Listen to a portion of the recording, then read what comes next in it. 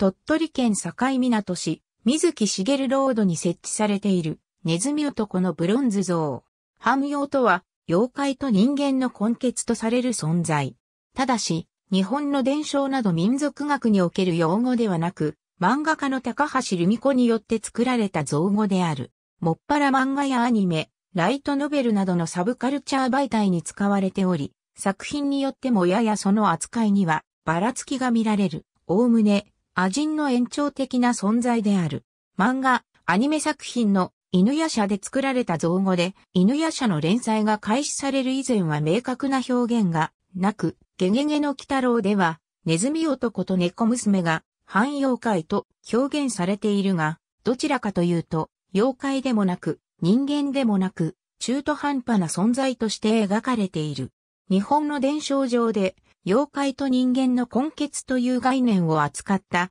ストーリーはないではないが、こういった根血を扱う話は乏しく、雪女をはじめ天女や化け狐などといった存在と、人間の根血字も描かれた昔話もあるが、子供自体は刻々平凡である場合が多く、特別な能力などが描写されている話は乏しい。夫に正体を見破られた妻が身を隠し、あるいは何らかの都合で人間の世界を去らなければならなくなり、後には血のみ子が残されるというものが見られる。その一方で、有名な話ないし伝説上の人物としては、金太郎が知られる。山姥伝説に絡む話では、雷神ないし、赤い竜が山姥に授けたというものが見られる。彼の老いたちは、伝説と逸話がない混ぜとなった曖昧なものではあるが、金太郎はその後に成長して、源頼光に、坂田君時の名で使え、仏訓を残している。また、クズの葉、ないし、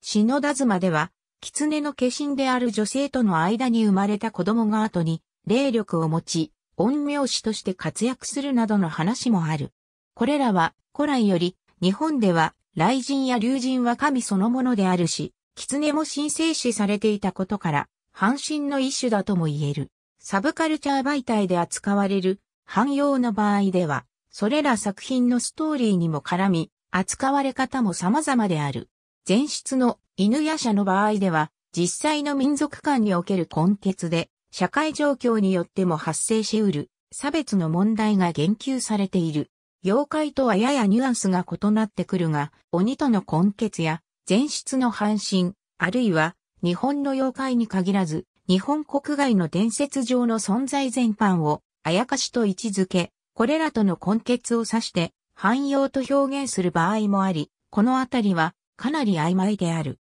なお、この汎用という表現だが、日本製のアニメや漫画など、サブカルチャー媒体の輸出にも絡み、例えば英語圏では、ハニョと表現されており、同様に日本製のアニメや漫画作品に関心の高い地域では、同種の言葉が日本製アニメ漫画関連のファン用語として利用されている模様である。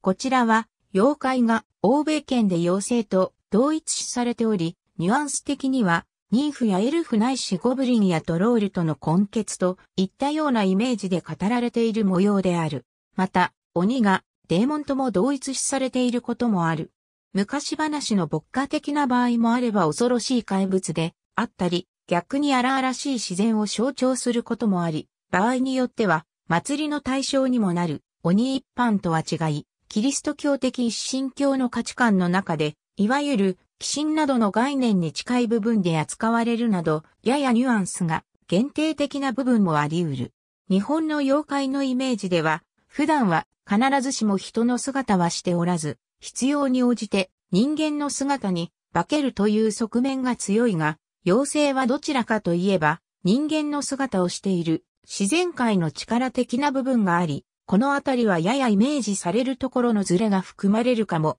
しれない。ここでは、汎用が主人公、主要な登場人物として登場するものや、汎用が作品の主題として登場するものを記載する。汎用の本来の意味は人間と妖怪の愛の子であり、犬や社に登場する汎用を迫害するための差別用語である。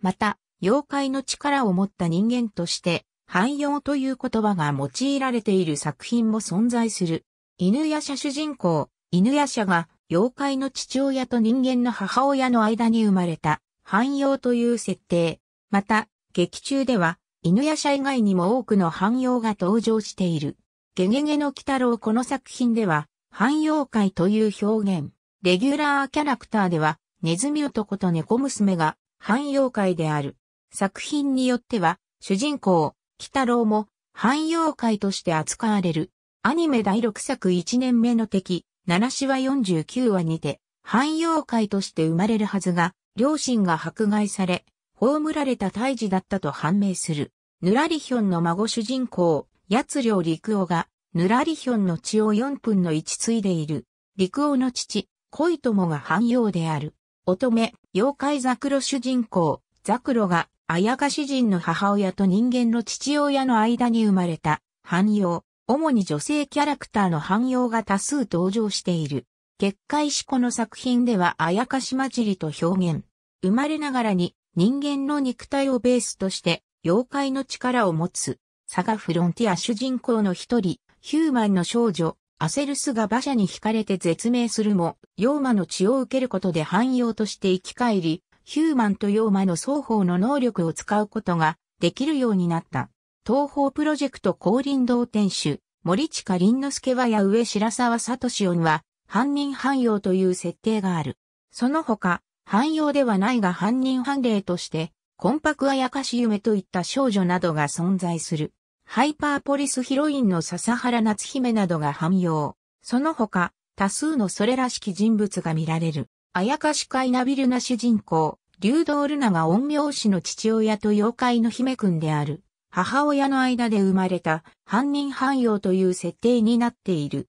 ルナの他にも、双子の片荒れとして生まれた弟や、同じ境遇にある姉妹が登場する。GSB 新極楽大作戦。登場人物の一人、ピートは、ヴァンパイアハーフである。ハム用という語は使われないが作中では、ヴァンパイアは、魔物、妖怪といった存在として描かれており、ピートも人間を超越した能力や寿命を持つ存在として描かれている。最有機主人公の一人であるサゴジョウが人と妖怪のハーフ。この世界では、ハム用は赤い目と髪を持って生まれる。ありがとうございます。